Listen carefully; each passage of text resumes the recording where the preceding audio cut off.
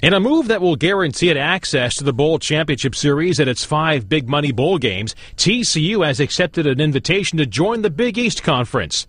The move from the Mountain West Conference involves all sports and becomes official July 1st of 2012. Uh, this is the Big East, guys. This is a phenomenal conference.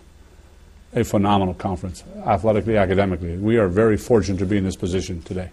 The third ranked Horned Frogs are 12 0 and wrapped up their second consecutive undefeated regular season and Mountain West title with last Saturday's 66 17 win at New Mexico. TCU is third in the current BCS standings, the highest for a non automatic qualifying team. And should Auburn or Oregon lose this weekend, the Horned Frogs would be in line for a chance to play for the national championship.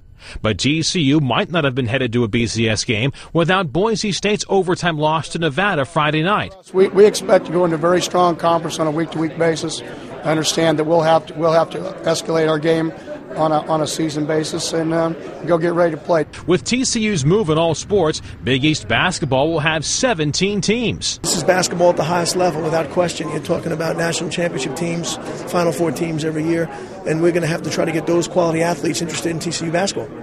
With TCU's pending departure, the Mountain West shuffle continues as next season Utah moves to the expanded Pac 12 and BYU goes independent in football. But the Mountain West is gaining Boise State, Fresno State, and Nevada, which are moving from the WAC. John Klobuchar, The Associated Press.